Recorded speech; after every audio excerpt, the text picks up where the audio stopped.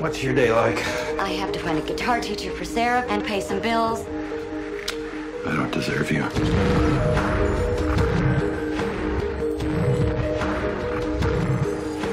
Somebody's been trying to hack in and compromise my identity.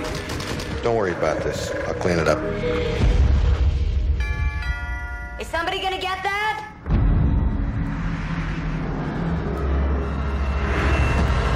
She has beautiful eyes, your daughter.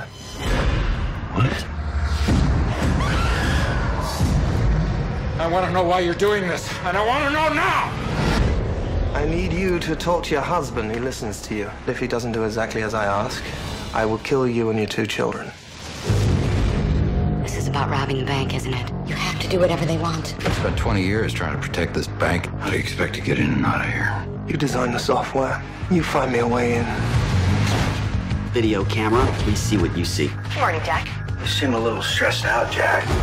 Is everything okay? Where are they? Where's my family? Are they alive? Change of plans. I'm done talking. Jack has decided not to cooperate.